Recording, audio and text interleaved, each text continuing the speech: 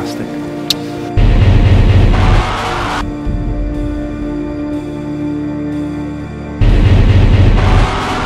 I'm a sorry excuse for a local politician. I'm a coward. I'm a hopeless drunk. I'm sick of myself. You've given this city a politician that can believe in. We want you to stand for mayor, Daniel.